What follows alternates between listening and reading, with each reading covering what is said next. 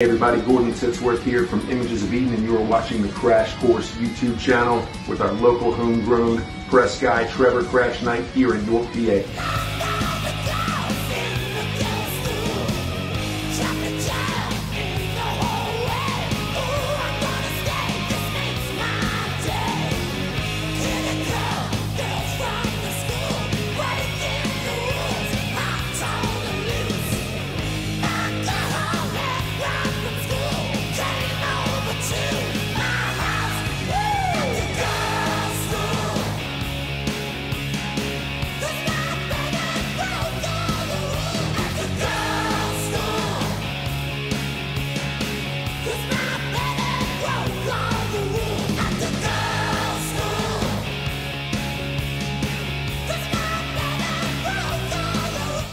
What is up, everybody? Welcome to the Krash Kourse Metal Show. I'm your host, Trevor Crash Knight. Thank you for joining us here. And we got a very cool uh, album ranking here for you guys, and that is going to be to the band Britny Fox and their catalog. So, for people that are not aware of Britny Fox, they are a glam band, hair metal band, if you will. Uh, you know, with their first album being released in 1988.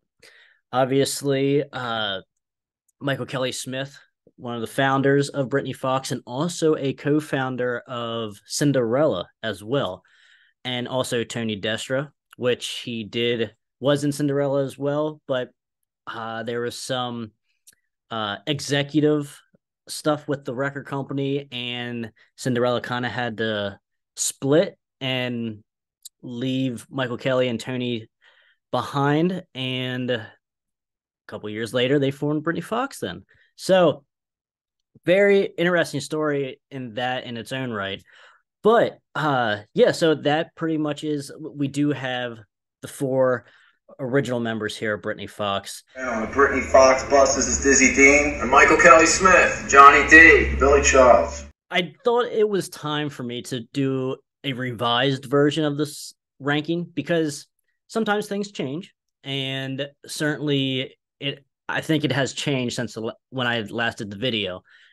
And then also too, a couple weeks ago, I seen Michael Kelly Smith at a record convention. Got to talk music with him. He was able to sign some of my stuff here, which you will be able to see. And he also brought me a couple things as well, which was very nice of him. Like the original lineup here, Britny Fox with a picture here signed by the guys, and then also the Tommy Paris era very cool, very awesome Michael Kelly. Nice guy, talks music. Uh, you know, just like he he's a big record collector as well. Uh, just fan of the music. And like when we talk music, we talk about all the other bands from the 80s as well, his peers and such like that. Like talk about uh like we just kind of were talking about Jet Boy, Kick Tracy. We were talking about a couple other Femme Fatale. We were talking about that. Uh, we are talking about a good amount of bands the last time uh, me and him spoke. But we will jump right in here to the rankings, guys. But first, if you guys like what we're doing here with music, album reviews, the rankings, the artist, the musician interviews, if you like what we're doing there, the music reaction videos as well, uh, click the like, comment, subscribe, hang out with us, party with us here.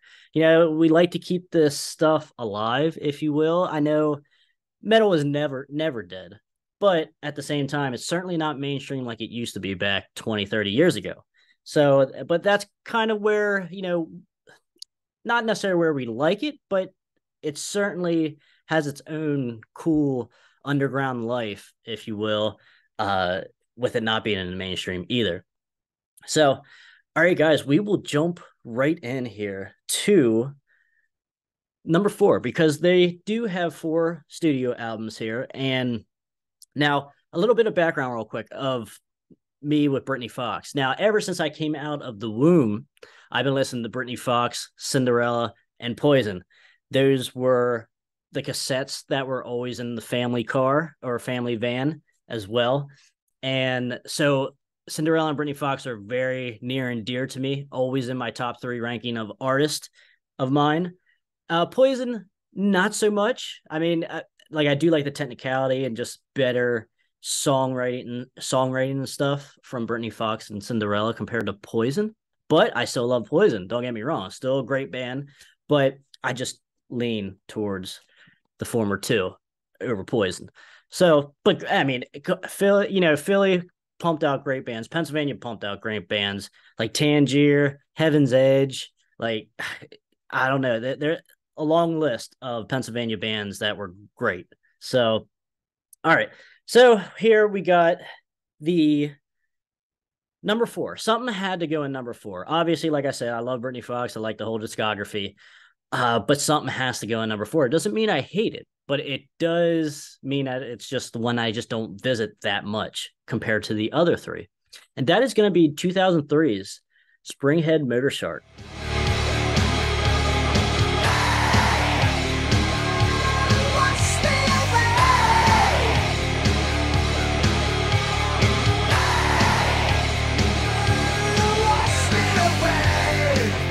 Now, here with Springhead Motorshark, uh, first and foremost, you're not going to be getting uh really anything sounding like say boys in heat or the debut or bite down hard.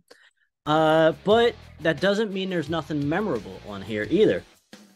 And i wouldn't necessarily say it sounds like 2003 uh now it does sound a little uh updated if you will but nothing i don't think they were it doesn't sound like they were trying to sound like other bands of that time or what was popular.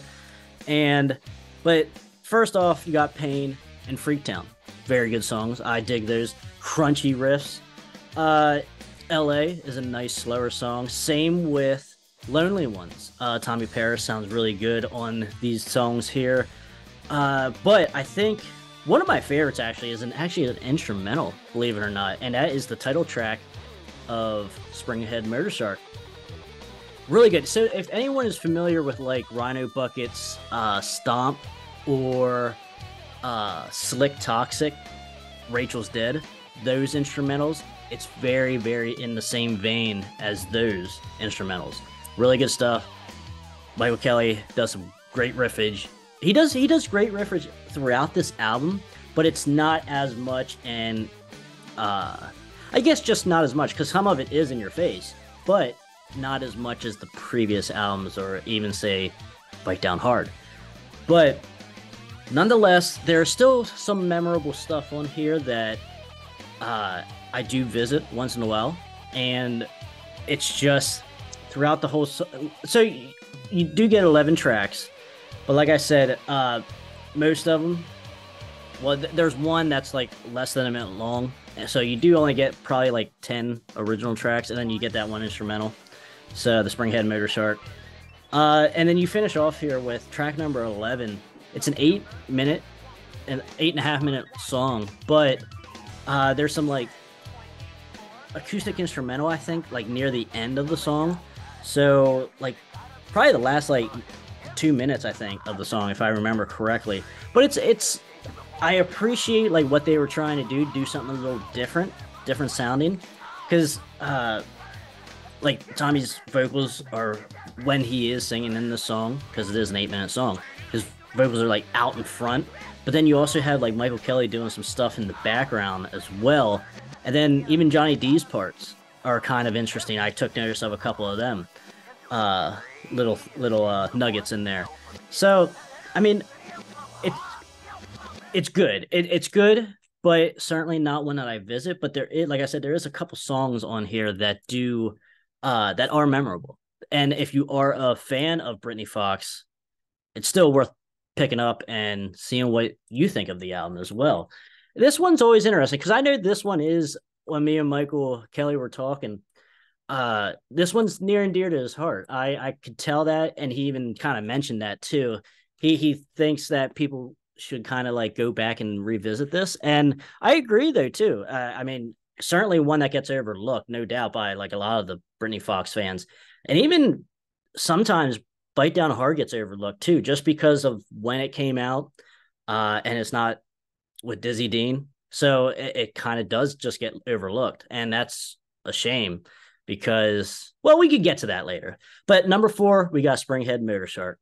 Alrighty, so we got number three coming in here, and this is where it's going to get hairy with me and a lot of other probably Britny Fox fans because my number three is going to probably be different from a lot of people's, and that is going to be the 1988 debut.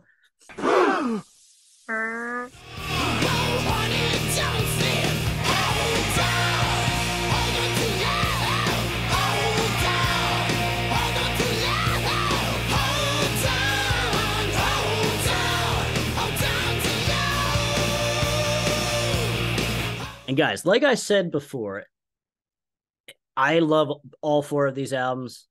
Not a bad album here, but something has to go not in the all four of these albums can't go in the first spot. So we have to make a ranking here. And it it, it just so happens to be that the debut goes at number three. So obviously this album did reach uh, number 39, I believe, on the top 200 Billboard charts it did go gold like within the first year of its release and also uh almost hitting platinum as well. It's like 50,000 short or so of platinum now and and that's kind of a shame because we'll kind of get to it there with boys in heat when when we talk about boys in heat but if dizzy would have stayed with the band through that tour of boys in heat it probably would have went platinum and also Boys in Heat would have went gold then too as well. So, but nonetheless, let's talk about the album. So you have Girlschool opening up. That is the single. That is also along. I would say probably Girlschool is also the their most popular song because Long Way to Love, like a lot of people do like a Long Way to Love, but I think Girlschool, like most people know this song. great song, nonetheless. Great song. I can listen to it. It's not ever played to me. It's not ever played, and I listen to this song a shit ton throughout my life. But uh, nonetheless, Girlschool, great, great guitar solos, and that's another thing. Like Michael Kelly's a great guitar player.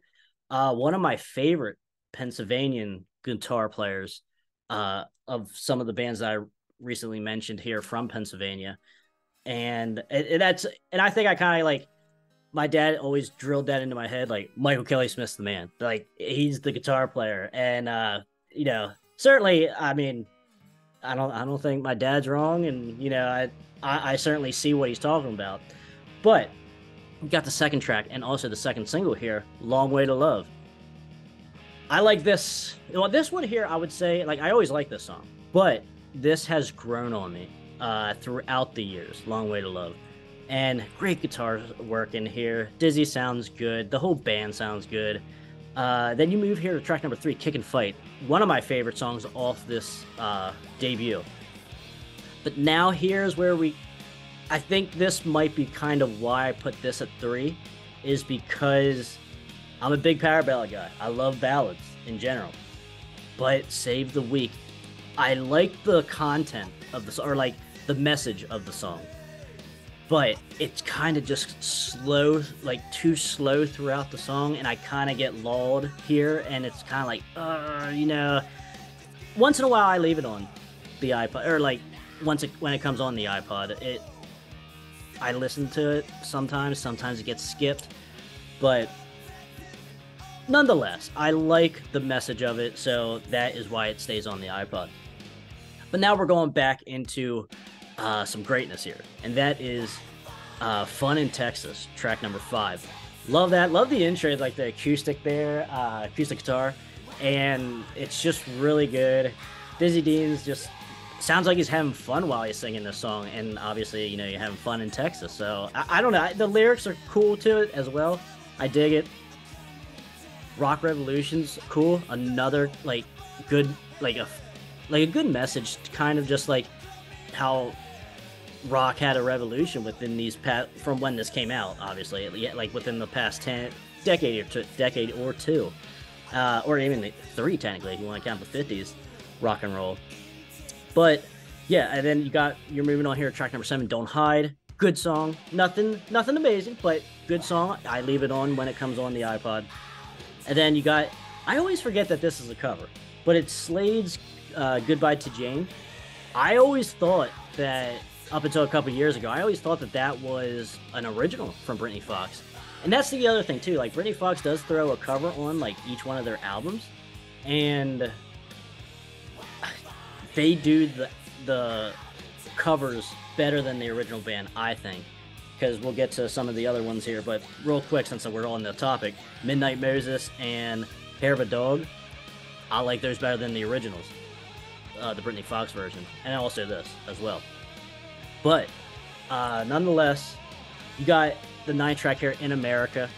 Uh, a funny story. It, the song's good. I like the message as well to this song, but the song in as a whole, it's fine. Nothing great.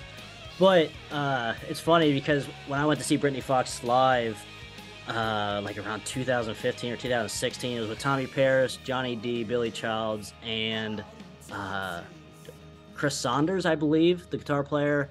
He, he does a lot of fill-in work and like with Halloween and stuff. That's where I know him from, uh, from his work with Halloween. Fine guitar player, but when I seen him live, it just wasn't kind of the same uh, as far as like the guitar, you know, like, like the sound and stuff. Great guitar player. I, I like Chris, but it just wasn't, you know.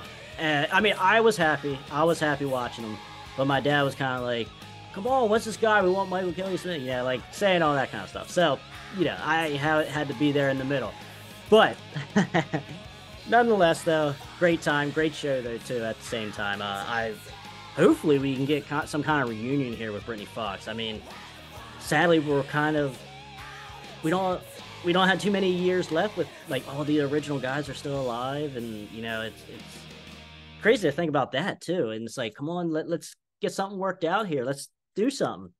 But and then you have the great final track here, number ten, "Hold On." I love this song.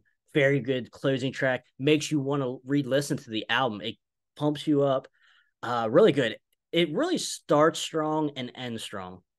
But like I said, there's a like one or two like middle tracks here that are just kind of weaker, and that's why this here, the 1988 debut, goes in at number three. Alrighty, guys. So this one uh coming in at number two. Number one and number two can switch for me at, on any day, any week, any month. Uh, you know, and as of right now, I'm gonna have to go with for number two that is going to be 1991's Bite Down Hard.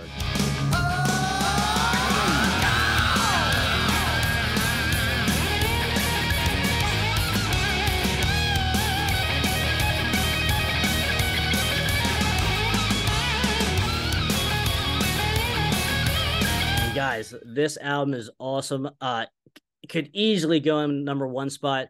It was in the number one spot for a little while there because uh like like I said, I grew up with Britny Fox, but it was the Dizzy Dean era only in the family because around that time like 91 92 I was born so my parents kind of were getting out of the music scene like not keeping up with the music scene and stuff like that so it kind of like the Tommy Paris era just wasn't really known to them even. And so now when I'm 12 or 13 years old, I'm going through Tom's Music Trade. Shout out to Tom's Music Trade here. Uh, great selection of vinyl and CDs and everything. Uh, great rock and roll museum now uh, here in Red Lion, Pennsylvania. I was going through that when I was going through a shop at like around 13 years old or so, give or take. And I seen this CD here, like on the side in like a bar, somewhat of a bargain bin, if you will, like his bargain bin type deal, you know. And I was like, holy shit, I'd never seen this before. Uh, how much or something? Uh, I mean, I was aware of the Tommy era a little bit just from like YouTube and stuff. Like I knew that there was a little bit of an era after Dizzy Dean, but I never really heard anything from it. And I was like, holy shit, I gotta get this. Uh, so but I'm glad because this is literally the only copy that I've seen on CD physically, probably ever. That and I looked through a lot of stores, looked through a lot of shit, uh, and I never seen one. I don't know. And now this here obviously is the reissue here on Real Gone Music, and obviously signed by Michael. Great sh- shout out to him. Thank you again, Michael, for signing my stuff and talking music with me, man. That's that's awesome. But so like I kind of uh, founded the Tommy Paris era in the family, in my family. So, and then I introduced my dad to Bite Down Hard, and he was like, "This shit's awesome too." Like now, obviously, he is a Dizzy, he's a Dizzy era guy. He loves Dizzy Dean, so it's always fun. Me and him like butt heads. Like, who's the what? Which is the better album? You know? And I always, I always stand in the corner of Bite Down Hard, and he always stands in the corner of like the debut. Uh, not really Boys in Heat. I stand in the corner of Boys in Heat compared to the debut with him, but uh, so, but guys, this is a great album here. I'll just look off of this here since it's a little bit bigger. Uh, Six Guns Loaded. Does you guys know that Zakk Wylde did the last solo here on this song? If not, check it out right now. Awesome. You got Michael Kelly Smith doing the first solo, and then you got Zakk Wylde doing the second and final solo. That is awesome. So, and I think the story behind that, if uh, Michael Kelly was telling me about that, uh, Ozzy was doing the No More uh, Tears album.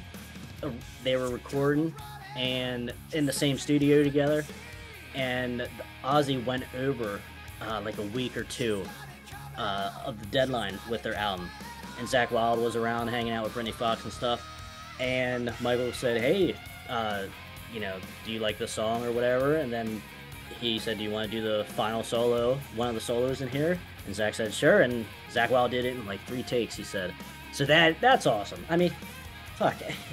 Zakk Wylde, one of the best guitar players of that era as well. But then again, I do say all the time, it's hard to find a bad guitar player from the 80s sleaze glam genre. It's just hard. It's hard to find a bad guitar player. So that's just Six Guns Loaded. That's the opening track. And then you got the single here, Louder. Awesome song. Awesome. And probably my favorite, but it's hard to choose, and I'll, I'll bring up a couple other ones here. And then you got Liar as well. Uh, more of a slower tempo. Good song, though, too. I like the lyrics in that as well. Closer to Your Love, the next track, is fun. Good stuff there. And I, I like this album because you got Michael Kelly kind of really showing. Well, don't get me wrong, he shows off in all the albums like there's great guitar work everywhere, but I feel like there's something to this album though. It's a little bit more in your face, especially compared to Boys in Heat. Maybe uh, some of those songs it, eh, he's not so in your face because like some of the songs are a little bit more on the poppy side, and but this one here is like like mainly straight up in your face type songs. And obviously, like I say here on the channel all the time, 1990 to 1993, you're getting these hair metal bands, glam bands into more of the bluesy side, sleazy side, and real edgier feel to their music and guitar playing and everything. So, and I think you get obviously that with this album as well. But all right, you got here over and out a slower mid-tempo song here. It's fine, nothing, nothing crazy, nothing great, but good nonetheless. And then you have here "Shot from My Gun" to open up the second half awesome song. I think that when I first had this album or when I first bought it, I listened. Shot Shot from My Gun was probably my favorite song off this album. Which it's between that and Louder, I think now.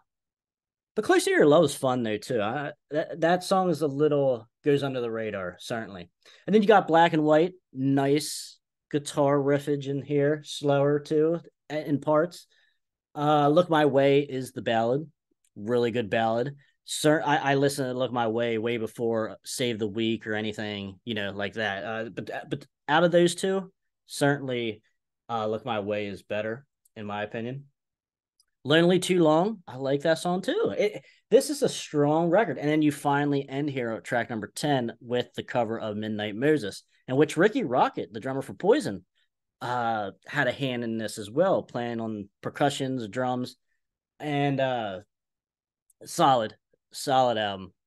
Uh, I actually don't know the story behind that. I forgot to ask uh, Michael about the story how uh, Rikki Rockett ended up being on one of these tracks. So, but like I say, great guitar solo.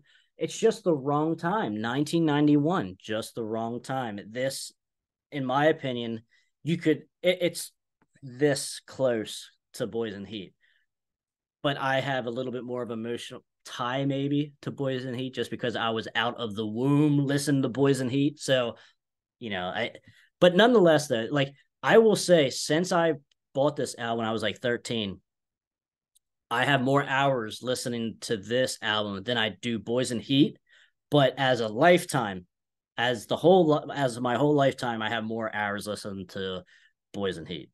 So Bite Down Hard though, uh, ever since I was 13, certainly has more hours. That kind of uh, it, like it was certainly hard to rank one and two here. Like I said, if I do this video in three months from now, this will probably go at number one. But uh man, it, it's just a shame that it came out a little bit too late because you know it, it's kind of strange to think though too, which we can talk about it here now, I guess, since we're going to be moving to Boys in Heat, obviously, which is number one. So we got here 1990s Boys in Heat.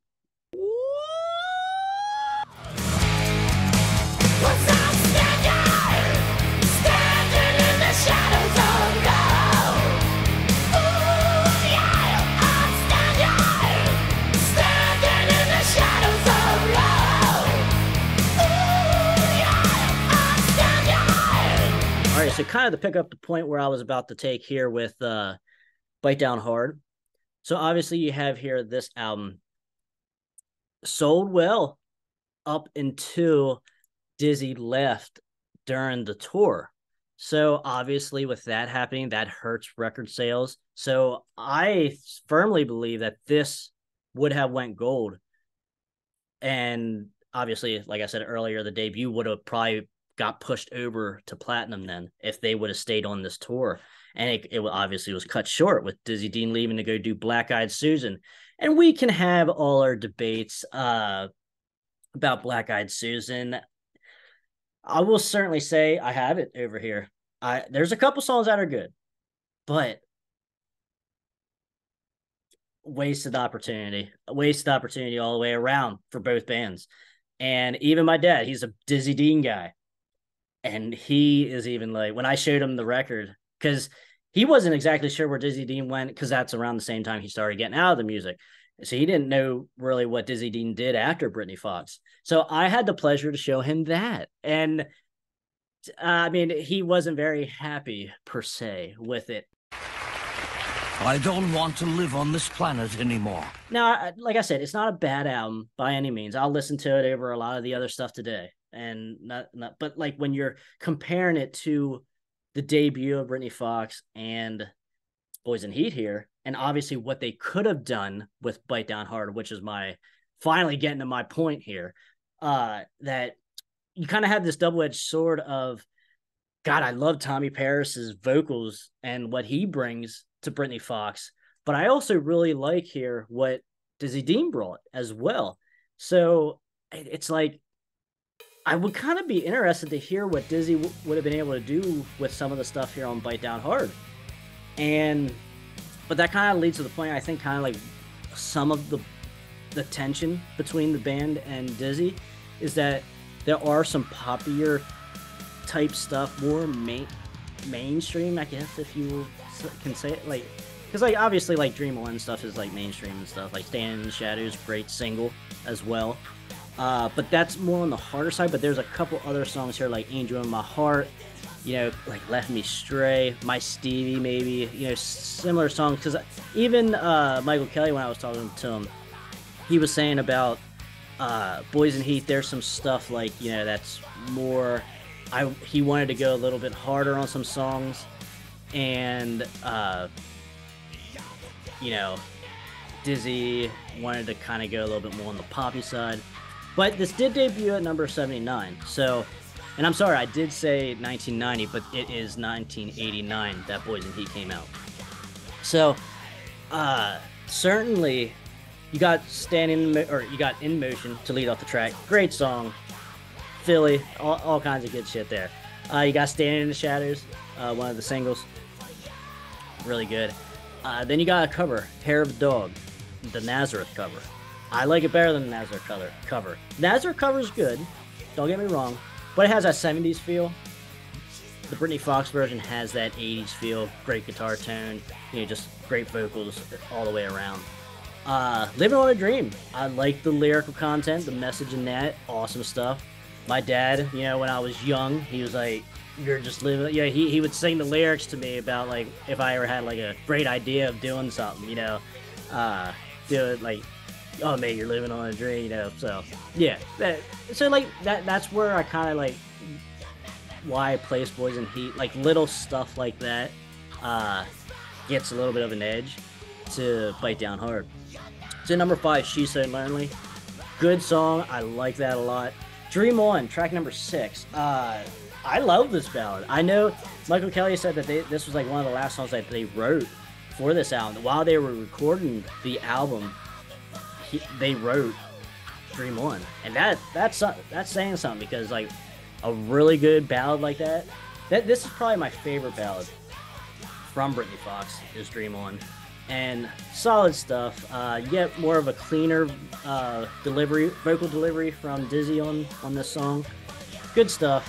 Uh, Long Way from Home, track number seven to end the first side. So that's another thing too, uh, with with this album. There's 13 tracks, and me and Chris from 86 Bullets, when he comes on the show, we always like to, we always drive drive home that point of anything over like 10, 11 tracks on an album, you're pushing it. You're, it's hard to have a great album with more than 10 tracks or 11, 11 tracks.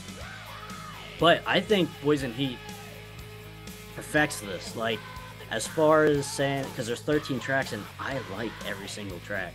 There's not one that I ever skip. So that's saying something in my book, and that's another reason why this goes up at number uh, number one in my ranking. Long way from home, good to end out the second track. Then you open up the second side two with plenty of love. Now, I like this song a lot. Great solo in this as well. Uh, but reason why this song gets so drilled in my head and know like almost everything about it is this is probably my dad's favorite song of Britny Fox. He loves the solo, he loves the lyrics, he loves uh, Dizzy's delivery of it and everything. Like he, this is another one that he just kind of like goes around the house or like whatever.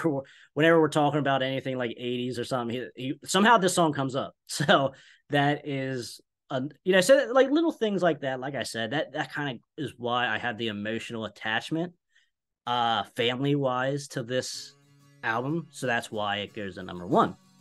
So you, moving on here, you got Stevie. I like Stevie, but I understand, uh, you know, that you're starting to get like these final tracks here. You're starting to get a little bit more on the poppier side like still great solos, still great guitar work, still the band still sounds good. Nothing is bad. Like I said, nothing's bad on this album at all. I listen to everything off this album. But I can understand where people have complaints with this. But for me, it's not a complaint at all. Uh, so you got Shine On as the 10th track. Then one of my favorites off this album.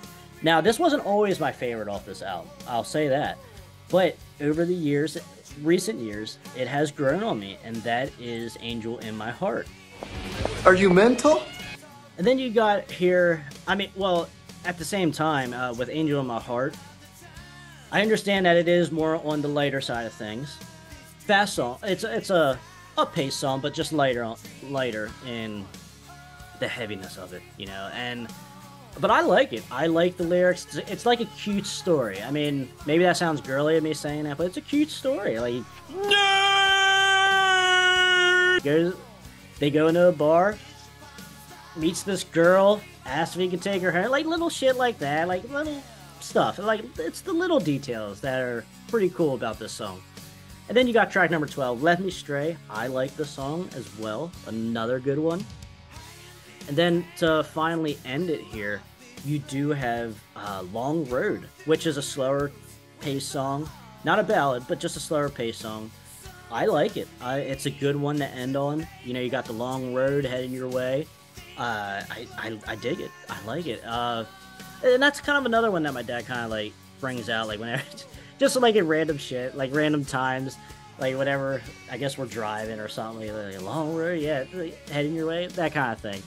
So, but nonetheless, guys, Boys in Heat, 1989, which is kind of crazy because I always get this confused with saying as from 1990 because a lot of bands during that era were on two-year stints of releasing albums.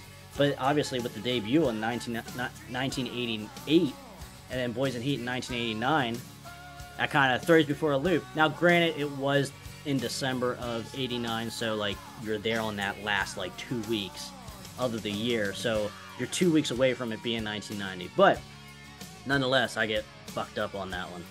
But uh, guys, Boys in Heat, I I, I get the complaints with it, but I I love it. I love it. it it's good stuff. Just good melodic stuff as well. That's a that's a one of the words I guess I could have been uh, not so poppy. It's just more melodic. It, maybe poppy is kind of like the wrong word, but more melodic uh, in some of the strong, song structures and stuff like that. And some and like some of these songs, Michael Kelly doesn't go crazy like he does in say some of the uh, debut album and also uh, Bite Down Hard. But at the same time, like on this album here, Boys in Heat, you got plenty of love. Like I said, you're he's going crazy. Uh, there, there's great guitar solos in that song, and also too, who doesn't like this cover art? I love this cover art. Good stuff. Like I have a shirt. I, I literally bought a Britny Fox shirt of this album here because I love this album. Because I remember being up in the attic or being upstairs with these cassettes, and I'm like, this is out like the Poison, Cinderella, you know, uh, whatever Kiss even like because I kind of got into Kiss. My family wasn't really into Kiss, but like as like a fucking eight year old who doesn't like makeup Kiss. But now I don't really care for that too much. That that kind of stuff. I kind of grew out of the '70s era Kiss and into the '80s era Kiss. But nonetheless, like I had those covers too. But like this one always stuck with me. And even like some of my buddies from high school, like 15 years ago, like they're like, this cover's pretty badass. Like I like this cover. I I always sport this cover whenever I can, like with wearing the shirt and such. But guys, let me know what your ranking is here of Britny Fox. It's a it's a very not it's not straightforward, but with the two eras, it's it's certainly both eras have their own life, if you will. Because I, like I said, I love the Tommy Paris era, and now granted, it like bite down hard is way different from uh, Springhead Motorshark, so that's even kind of like a little bit different of an era, if you will. But with the Dizzy, I I like it. It's it's so weird. Like I don't want to. I don't necessarily have a favorite era of, you know, of Britny Fox, but I love them both. Uh, so but Brett bite down hard though. Like technically straightforward all the way through. If you want like like in your face the whole way through, like good songs, good riffage, good guitar the whole way through. Uh, Bite Down Hard is probably and heavier, probably the heaviest album uh that they did was Bite Down Hard. But at the same time, uh I, I do kind of get like the production with Boys in Heat was a little bit more uh polished, if you will. Now I wouldn't say it's it's nothing like a Nelson or a Winger or anything like that, but uh it is a little bit more polished than the debut. The debut does have a little bit more of a raw sound to it. Not much, but enough to be like, yes, uh, that's a harder album, more raw, you know, stuff like that. But and then guys, real quick shout out to uh Michael Kelly's band after Britny Fox, if you guys weren't aware, which I wasn't aware for many years up until probably like a couple years ago when a buddy of mine said, Hey, you know Michael Kelly was in a uh, band after Britny Fox, like when they broke up initially. Uh, after Bite Down Hard in 1993, he formed Razamanaz, and I think it came out this this uh, album here came out in '95, uh, technically, but like this here, it's certain it's hard to find, but Michael Kelly took care of me. He only had a couple copies left, and I bought one from him, and uh, it, it certainly I needed it in the collection, obviously, guys but it's you have like 15 tracks on this version here. And so real quick, the band that he put together were other Philly super like an all-star lineup of the local area of Philly. So they but these guys were not uh never got signed, I believe. They just had like original bands from the Philly area, but obviously timing and such, they just never broke. Uh but like the first two tracks, Urgency and Feel It, great songs, great songs. And then uh they do a blues track number nine, Swamp Slide slash Bad Feeling Blues. Awesome, awesome. It's like eight minutes straight of blues stuff, uh, and even like Red House stuff thrown in there. Really good stuff. I dig it. Uh, but yeah, if you guys can check it out, there's a couple songs on YouTube of it. I recommend you guys checking that out as well, because I mean, why not? If you're a fan, if you're here, you're listening to this, you're a fan of Britny Fox, so go check out Michael Kelly's Razamanaz.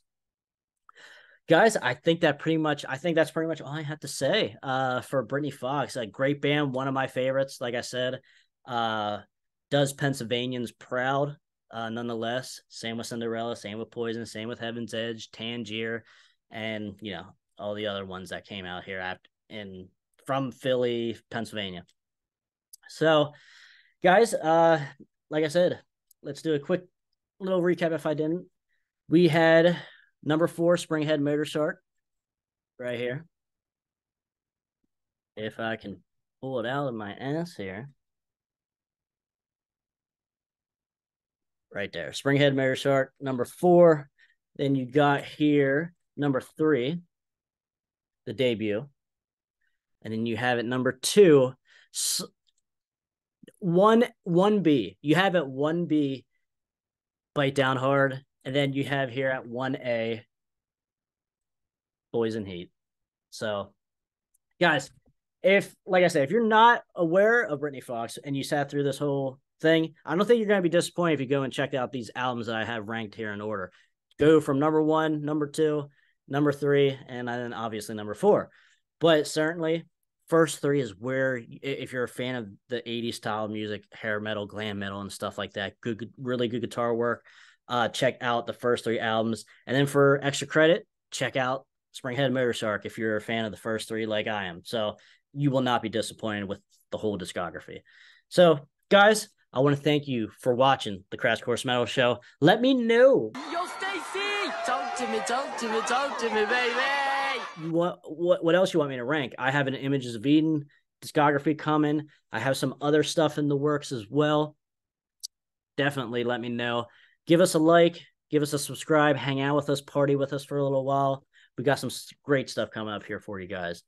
And until next time, guys, stay out of that collateral damage, and we will see you later.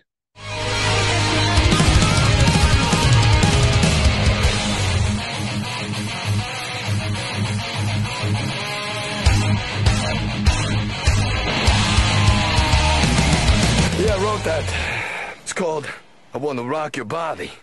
And then in parentheses it says to the break of dawn. You get drugs near me, you get knocked out. You know, I'll just knock you out.